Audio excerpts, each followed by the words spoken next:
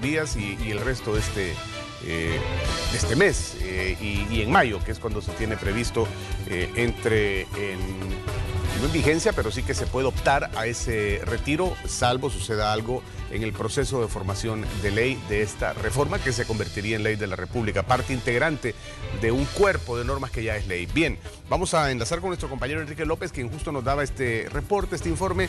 Ahora nos va a hablar de otros temas. Quique, adelante.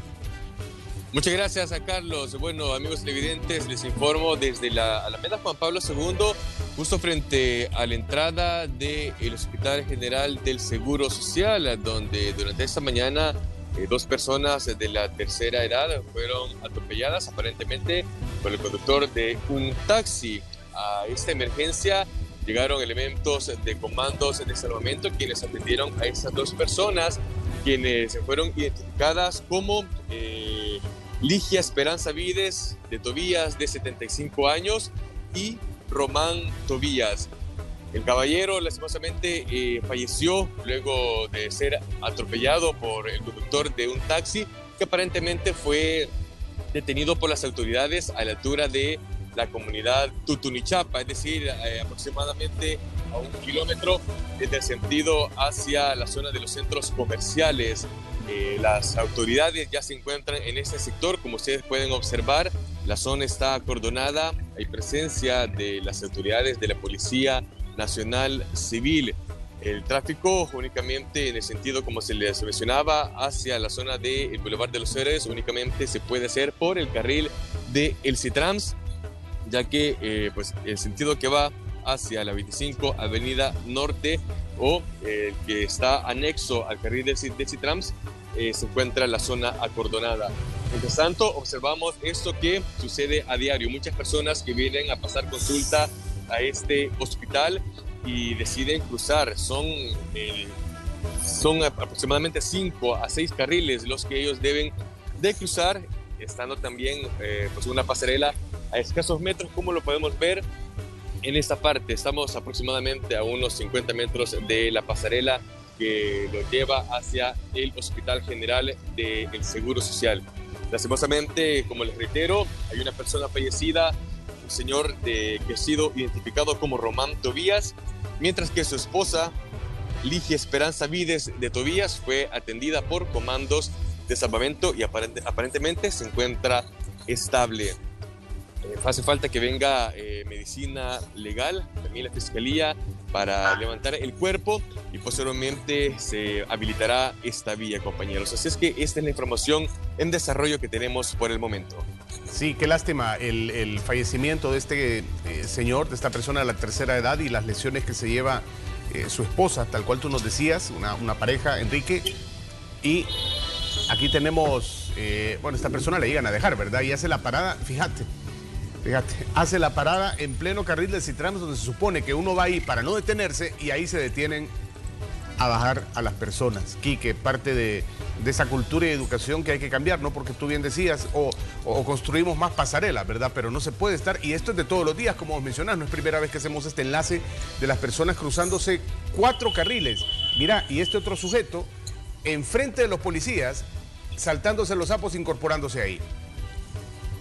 Eh, sí, es correcto, Carlos. Lo que pasa es lo siguiente, como está eh, la zona acordonada, la única vía para aquellos que se están incorporando, por ejemplo, los que vienen desde la zona del centro judicial y se incorporan en el semáforo de Portobús hacia la Alameda Juan Pablo II, la única vía que tienen para ingresar nuevamente al carril de Citrans y seguir sobre la Alameda Juan Pablo II es eh, incorporándose de esta manera porque la zona se encuentra acordonada. Es decir, no hay, no hay paso para la 25 Avenida Norte. Por tal motivo, las autoridades están dejando que eh, hagan ese tipo de viraje cuando obviamente sabemos que no está permitido.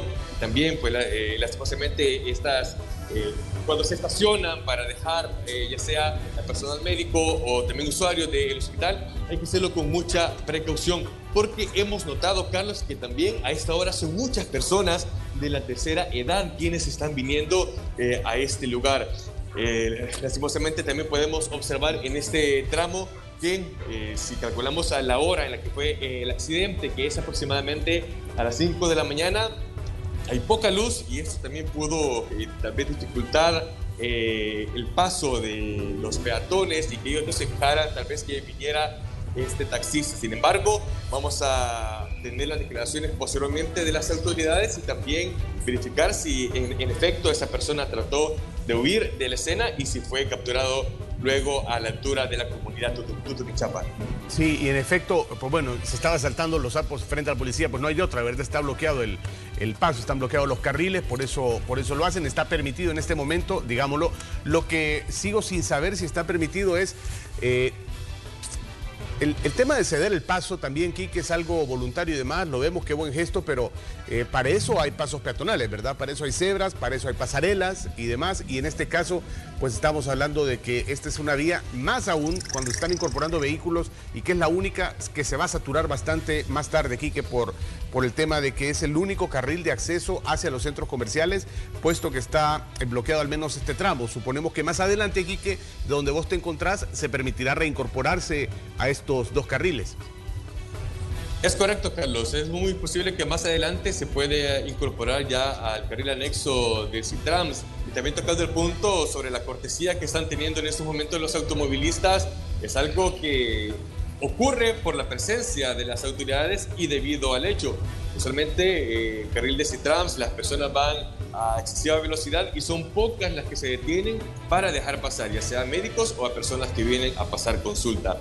Así es que eh, es una situación un poco compleja que la única solución para que las personas puedan cruzar de una manera segura estos cinco carriles es tomar la pasarela que de este punto de la entrada peatonal del Seguro Social se encuentra a unos 40-50 metros.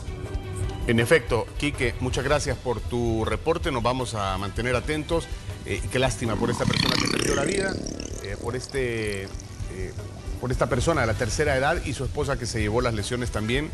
Algo tan básico que todavía no comprende mucha de la población, que si esto sucede y hay un accidente, lo que conviene es quedarse en el lugar. Si finalmente no ha sido responsabilidad de uno, sino que, como vemos en el caso, son personas que se están cruzando la calle donde no hay señalización, donde no hay cebra, donde se supone deberían ir a buscar la pasarela que está un poquito más allá, pero también hay que comprender que estamos hablando de personas de la tercera edad, ¿verdad? Y, ahí hay que encontrar alguna fórmula. Lo cierto es que la ley dice también que si te quedas, pues bueno, no, te llevan. Es, es lo que dice la ley de Fonat, Es correcto, eso es lo que dice, pues de que si uno está involucrado en un accidente, lo ideal es quedarse eh, en la zona y sobre todo si en lugar del accidente hay cerca una pasarela, pues la ley ciertamente da ciertos eh, beneficios, pero eh, en este caso, según información preliminar, el conductor del taxi sí huyó de la escena Vamos a esperar que dicen las autoridades y si lo traen a este sector o posteriormente hacen alguna presentación y también obtener sus declaraciones.